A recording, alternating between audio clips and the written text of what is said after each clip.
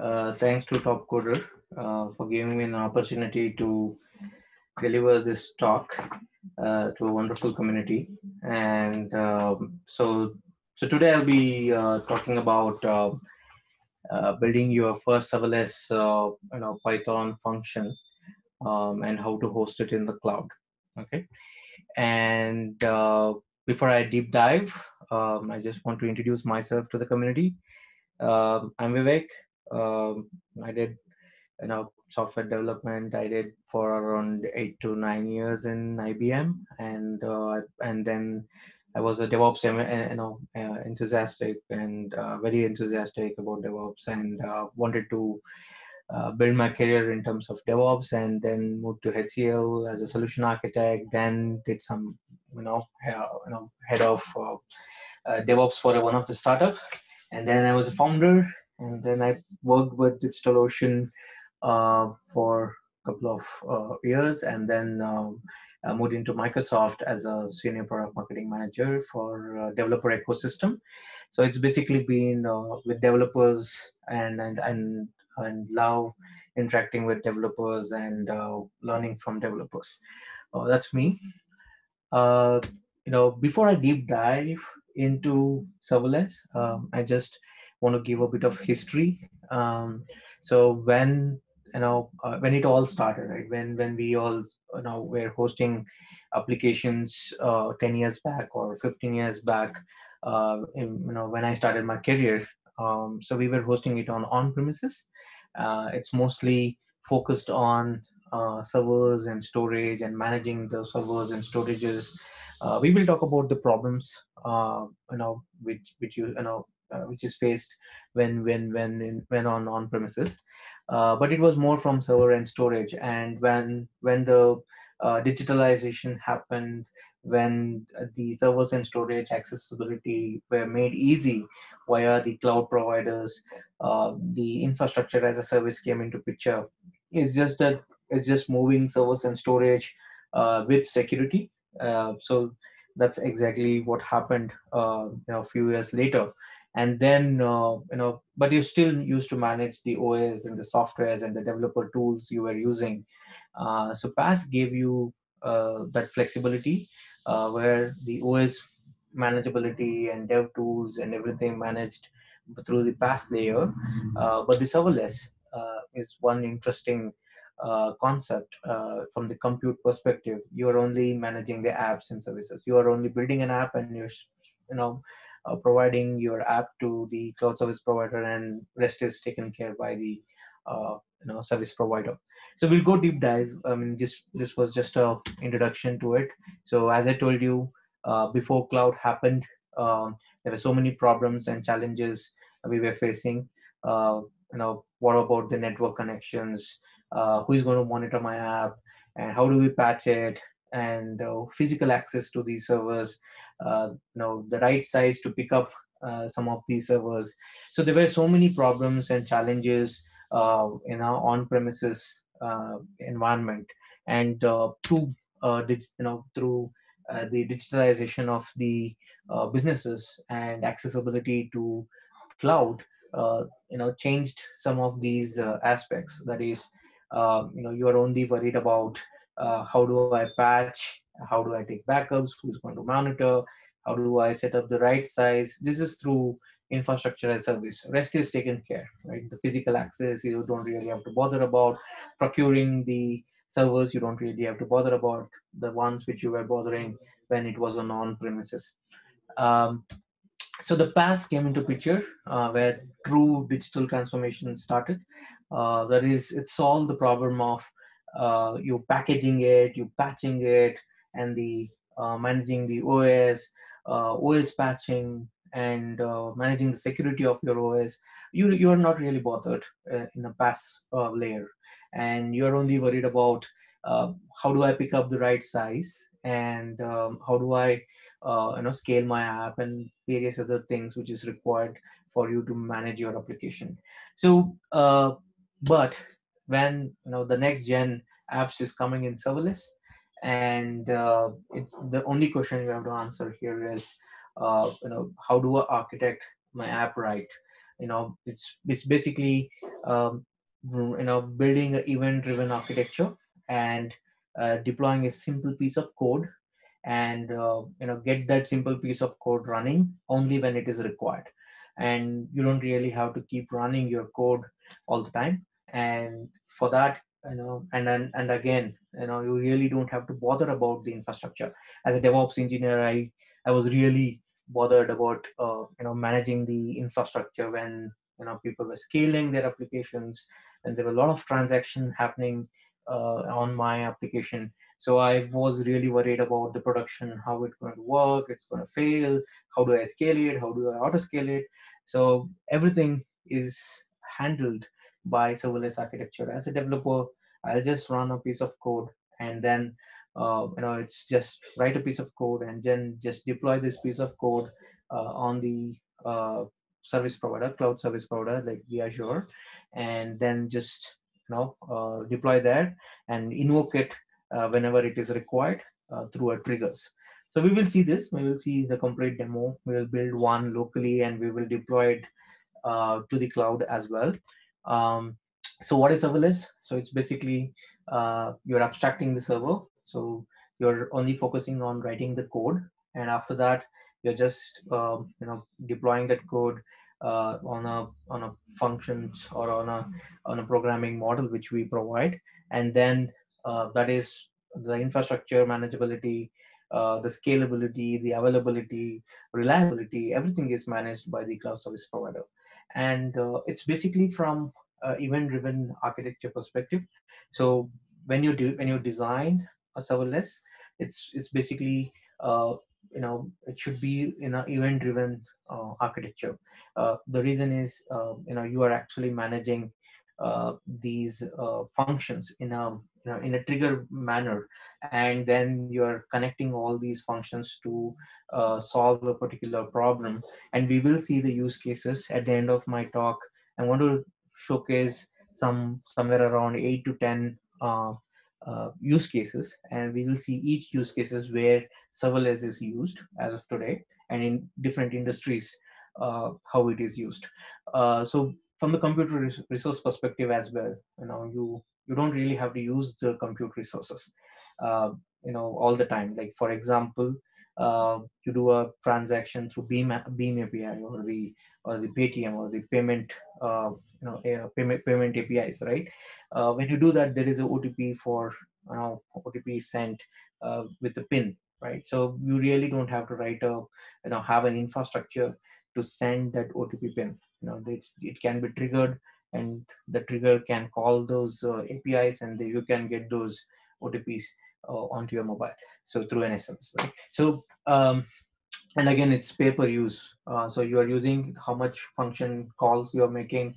Uh, it's basically an API call and how much uh, time it is taking to execute and memory used. Uh, that's where the billing goes. So it's it's pretty much you're using and you're paying, and you're not holding an infrastructure uh, just to hold for it, and there is no transaction at all. I mean, it, to be very honest, right, from an India specific, right, there is no uh, you know no transaction happening from you know morning 3 a.m. to 6 a.m. and you really don't have to hold an infrastructure from 3 a.m. to 6 a.m. or from 7 a.m. Right. So um, you know, uh, so what are the benefits of uh, going serverless? Is obviously focus. So basically, you're uh, as a developer, as a company, as a startup, uh, you know, you're focusing on the business problem. You're the technology. Then you're not really worried about scaling your application. You're not worried about reliability of your application, not worried about uh, the maintainability of it. So you're just writing your code, you're managing your code, you're architecting it right, and then just deploying it, and then the code is taken care uh, at the end, you know, at the end by the uh, service provider and scaling of it and reliability everything is security wise everything is taken care by the uh, service provider. And the efficiency part and obviously it is pretty efficient because it the serverless uh, programming models uh, provide you the local development and uh, and also integrations with uh, githubs and various other tool sets and also you know easily manage you know deployable triggers and other things. So it's basically a programming model it gives you where you can efficiently code your application, and there is flexibility. And what I mean by flexibility, it's it's kind of uh, particular problem. So in a in a in a in a real world scenario, there is a um, you know two three two three problems you're trying to solve in a particular application and and a particular problem can be solved through go programming language and a particular problem can be solved in a python programming language. And there is another specific problem which you can solve it in a java. You can design your application in three different programming languages and connect it uh, together. And then uh, you know your application can make use of the uh, powerful languages uh, different languages and and also stay uh, and, and and your application is also uh, scalable and uh, reliable and etc so so it gives you a flexibility so that's that's the um, you know you know way you can architect it and obviously it's a very good choice uh, for building your microservice architecture so um, as of now, I, I just spoke about um, you know the serverless as a compute, right? Serverless as a concept and compute and how to how to deliver it. But functions as a service is a programming model. It's basically uh, you know you know the it's basically a framework. In fact, so uh, it has a single purpose. You know the all functions has to be designed in a single purpose uh, solution. Any any programming language you know we used to we used to do object oriented programming and we we even do object oriented programming as of today too. Uh, in that you, you know there is something called as functions. And what does a function do? It's just basically run a simple piece of code and solves a particular problem. And it will only get invoked only when you call it. So that's that's the you know simple example of a you know that same terminology is being you know taken out of uh, the uh, object oriented programming and uh, connected to the serverless.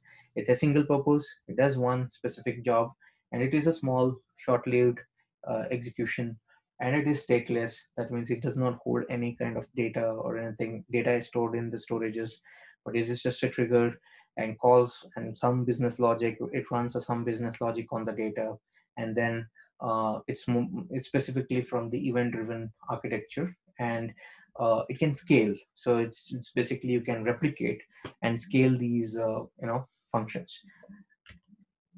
So uh, today i'm going to talk about the azure functions uh, which is nothing but a serverless uh, programming model.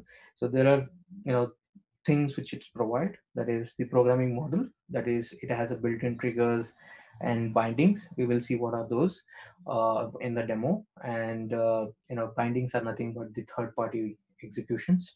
And then there is uh, you know you can build code locally. You can test it locally debug it locally. That what i mean is you can develop the code on your laptop uh, use the developer tools like visual studios azure cli and uh, azure function core tools. And then use the um, you know editor or the you know web-based interfaces to deploy your applications to uh, to the cloud. And there is obviously hosting options the flexibility the way you want to host it. Um, you know it's a controlled environment. Uh, you really don't want to do a you know uh, execution of your uh, functions uh, you know api you put it.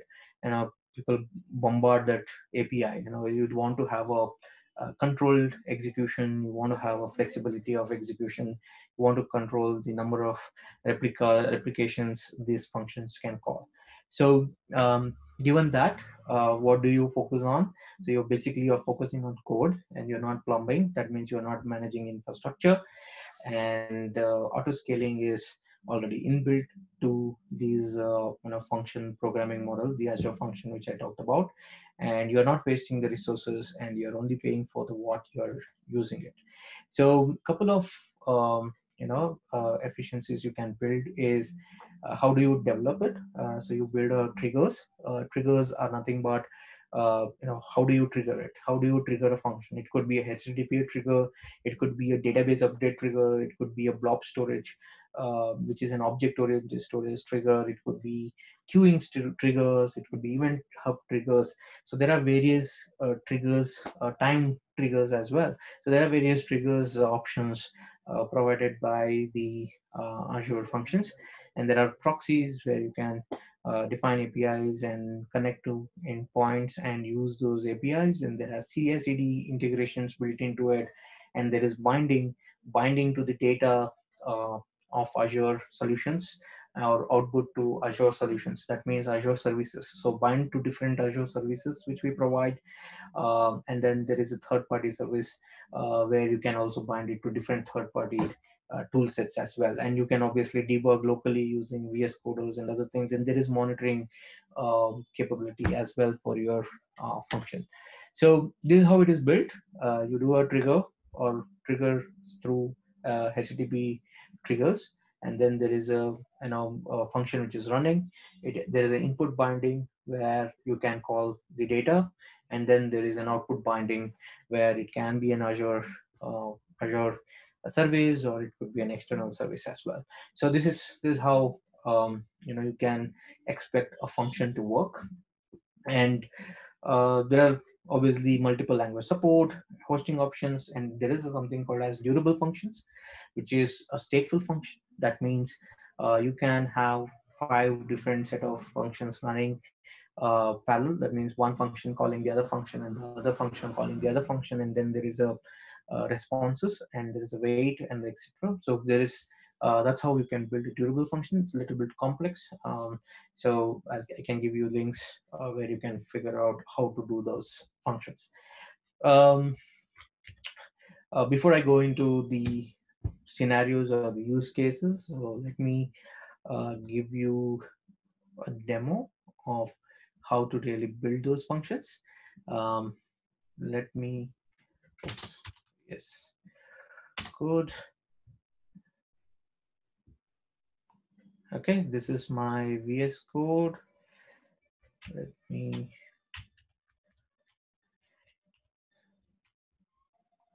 Okay, so um, I'm just I've installed a couple of things uh, on the VS Code plugins. So uh, it's basically you need a function plugin and uh, you need I mean you can see various plugins you can do. First of all, you need an Azure uh, extension and once you have this Azure extension, you have a couple of plugins already installed, but there are other couple of tools which I have installed. Um, that is the um, you know function core tools. Uh, if you see my screen, you're able to see my screen. Yeah, uh, the function um, version. Okay.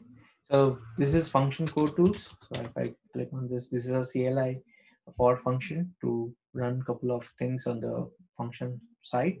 So let me go back to the uh, Visual Studio.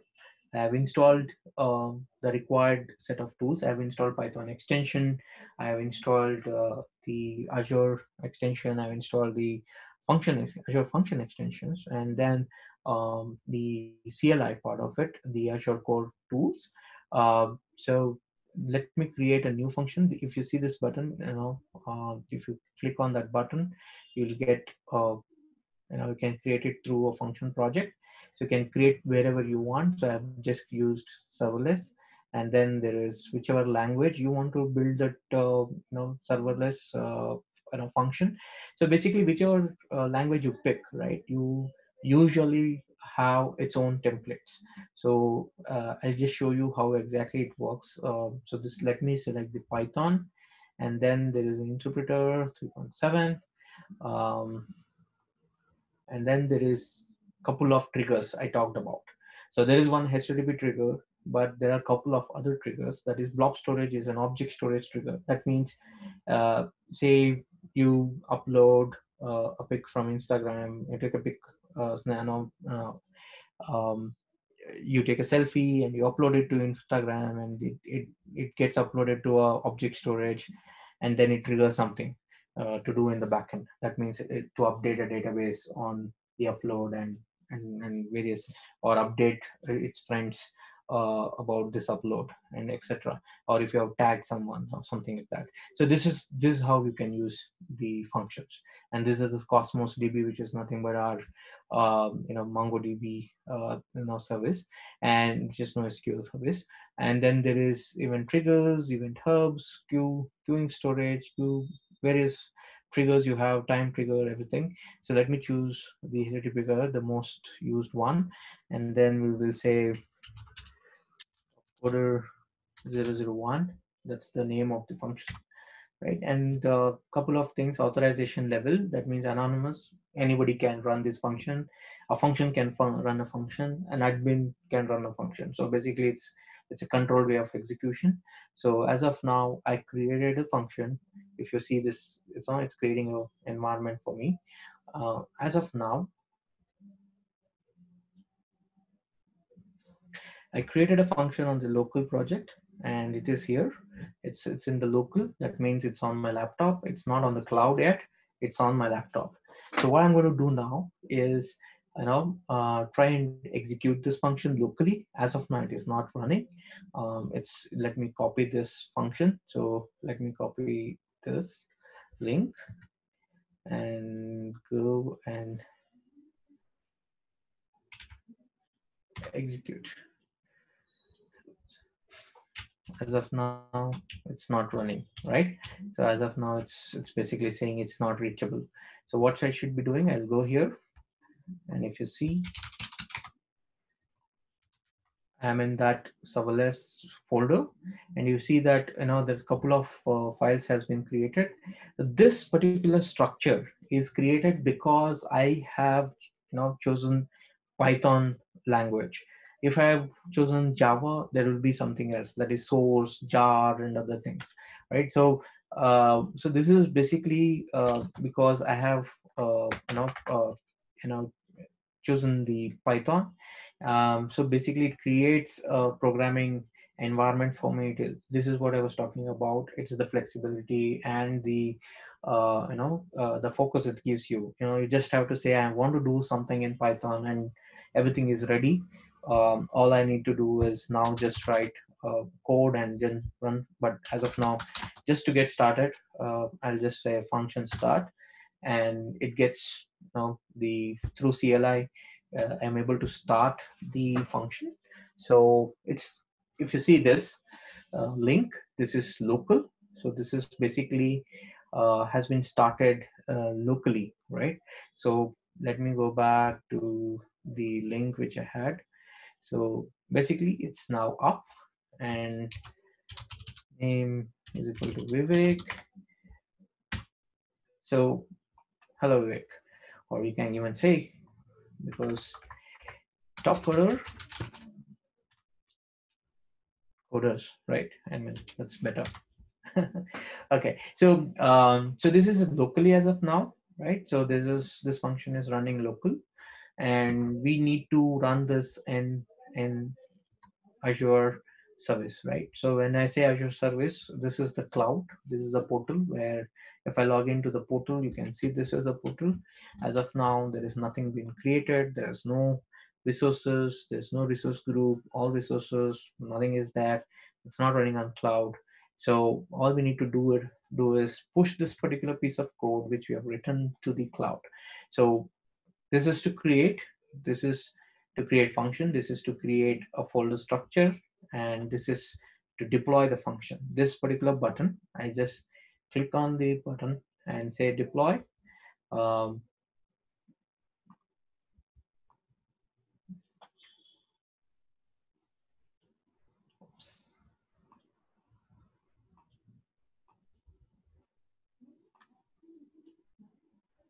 create a new function and you can see if you see this this is the website it is going to be created. So you have to just give them a name.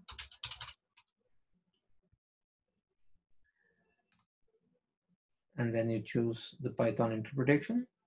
And this is the most important thing where you want to host this particular function.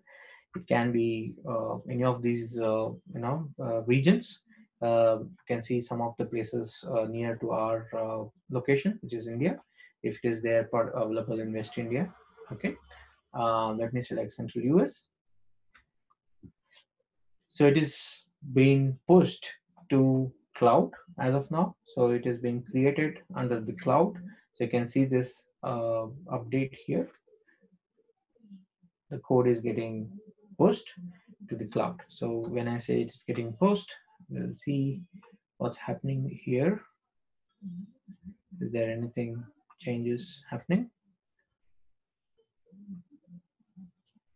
Not yet.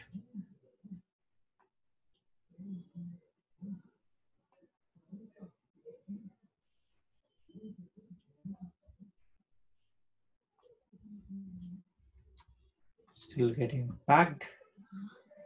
It takes some time. So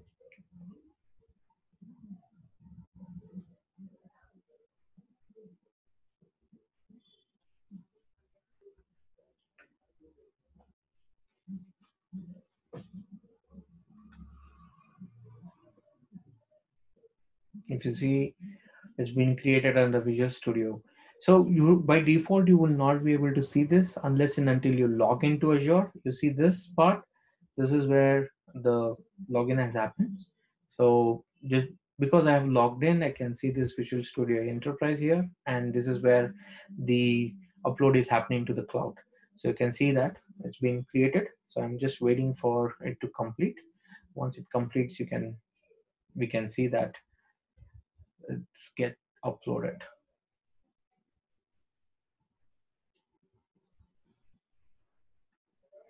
So it's still deploying. You can see there are a couple of things it has been created, application settings, files, logs, deployment. Deployment is also about how do you want to deploy it. So you can have this piece of code in GitHub repository and then just connect it here. So whenever you push the code in GitHub, it gets deployed to the cloud so directly. So there is so these are the you know flexibility the efficiencies for a developer where you know it's pretty easy for a developer just to come back here and just write a code right? Wait for okay so if you see this now there are a couple of things got created. One is obviously the function and then there is application insight. Application insight is the monitoring of the services so you can figure that out.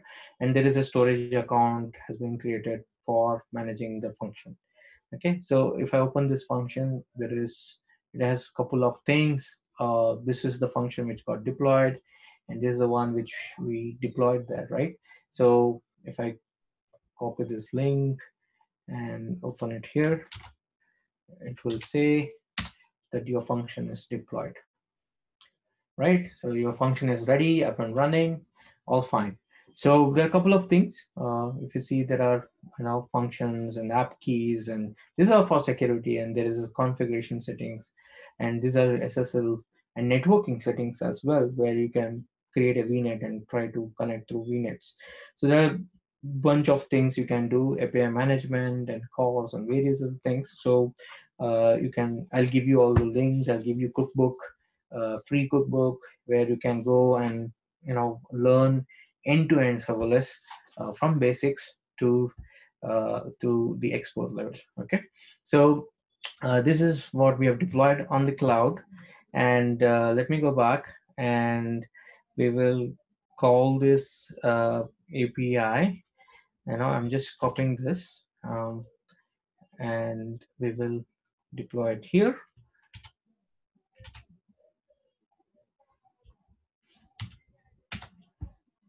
So here you see hello top coder right? So uh, you know you can uh, see that we have deployed this particular code uh, from the local system to the cloud. And all we need to do now is you know change our code right? So we just need to go and change our code right just go back to azure okay i don't have the code here open the serverless uh, the code is here so this is where logs as well. You can see if I click on the stream logs and view outputs, I can even see the logs, uh, the, the things which were happening. Like if I see stream logs, will, it will show the logs for me, right? So, okay, this is, not, it will open up. So debug console terminal. Yeah so uh, I've opened the code uh, let me show you this. So all we have to do is hello, hello top coder from, okay. So I've just changed the code and I have, uh, you know, done the, you know, I've saved the code. I didn't do anything. The code, once I save it, the automatically the function which is there, uh, which is running gets, you know, updated. So it's basically, it's already updated. So all I have to go here and refresh hello of coder from Topcoder, right? So now we can say, okay, we can change this to Rick. This is, so this is how uh, local development works, right? So I will just go and update a code, piece of code. And once I update the piece of code, um, you can see that, you know, I can, it is directly deployed on local development. So it's very easy to test, very easy to debug locally because a lot of uh, extensions uh, provided by the Visual Studio for Python and for various other things. And also some of these logs and other things, it's, it's already available here. Okay.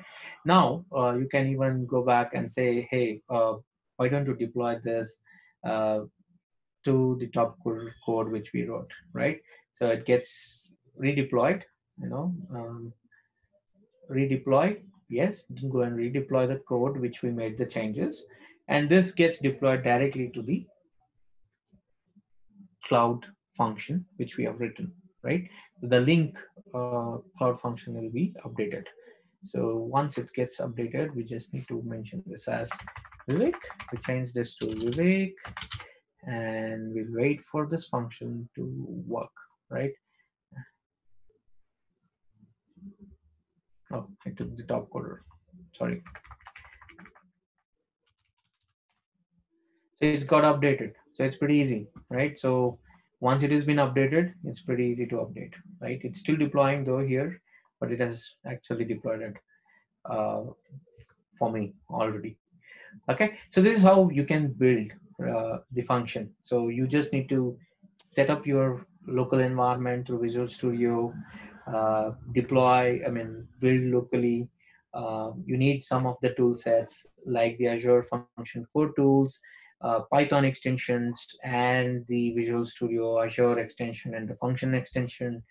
Once it has been done, um, you just uh, need to build your application locally and then write your code the way you want to write the fun particular function code and then um, you're just deploying to the cloud uh, if you want to use cloud uh, but if you know you want to just test it out you can still use the you know local development but uh, building it in cloud and make accessible the api is accessible on cloud and building an application you definitely need cloud. And we talked about it in first few slides right? So um, this is how you can do it. And uh, let me go back. Um, i just want to show a couple of things uh, before oops i started from first. Sorry sorry sorry. Um, let me go to the uh, you know sample scenarios for functions. So very important. Uh, i'm going to talk about uh, some of these architectures um, where uh, in, and also some some are very specific to some of the industries which is required. Um, one is obviously uh, you know uh, you know retail scenario right? We have been using this scenario. We go online pick up some order and come back right? So this is how it works when you in a in a serverless world. You just go and make a request through http trigger and then uh, you know request is queued in the you know uh, in the service bus. Sorry this is a service bus trigger. Uh, if you see there is a request going into this uh, you know service bus which means it is queuing system and through queuing system you're calling a function and then you are sending the output to a cosmos db which is NoSQL uh, database. So uh, basically this is a web uh, design a simple web uh, design and you're actually uh, using a function to manage uh, the request online order you know particular picking up from from queue and updating the database right? And then there is uh, example of you going out with colleagues and you paid for the uh, you know the lunch um, you know in, in wherever whichever party it was and then you requested the payment from your colleagues right? Then there is that's the http uh, you know http api call from your mobile. Uh, you just just send it uh, through a function. Uh, so all these all these are functions these two are functions. And then uh, through this you update the database. And uh, and the database again cosmos db trigger you are using cosmos db trigger here. This is a http trigger. This is a cosmos db trigger to call a function. And then there is a, a function to not send notifications to your friends. So this is how you can use uh, you know mobile uh, you know based applications uh, through a serverless architecture. And then you're using it in manufacturing industry through an iot so you, there are iot hubs uh, so you are sending to you know the iot devices send data to iot hub and through that there is a trigger which is happening and then you call a function uh, through uh, iot hub or the service hub event hubs. And then there is we have something called as uh, azure app logic um, logic service uh, logic flow. And you, you can actually connect uh, different third party you know third party tool sets with the azure services so through that logic you are invoking zendesk and a repair request is going through Zendesk. So this is a complete workflow you can use in IoT industries, like in manufacturing industry through IoTs, right? And then there is conversational bots, uh, which you can build, you know, uh, through a, smartphone, asking for a vacation option and various other things. Uh, but uh, you know, if you see this, right, there's a function after function calls, and then there is a request coming back, and then there is a real-time uh, file processing function. Uh, again use of storage something called as blob storage. I gave you this example uh, previously with the instagram and the, the, selfies upload right? You upload it into a blob storage which is an object storage and then there is a trigger and then there is a lot of activities which happens uh, through the triggers right? And then there is a you know real time streaming processes which you can perform you know in um, uh, you know various uh, industries right? So uh, there are a lot of data which is being captured and then this data is through event hubs uh, you can actually manage this data and build a visualization uh, through a lot of uh, you know functions which you are running through python right? So there are finance and surveys and then saas applications. So there is vast variety of applications you can build through functions. It's basically a simple piece of code um, running as an event trigger and you know azure function is a programming model is a framework which is being provided to you for you to run these uh, functions. So a couple of links uh, which i would love to uh, give you you know the the uh, uh, you, can, you can take these links. Uh, it has a couple of um, uh, you know the cookbook and uh, it has uh, how to build an intelligent cloud through um, through the uh, through the serverless and and obviously the architecture uh, how to build a you know a complete uh, durable functions through uh, architecture. It's it's available in these three links okay and uh, join us by the way we i keep writing a lot of blogs or you know even uh, if you're writing blogs, please send it to me. So we uh, curate a lot of blogs and we send it across to everyone. So you just uh, need to sign up and you get uh, a complete developer update with sample piece of code and other things and such kind of sessions available to you.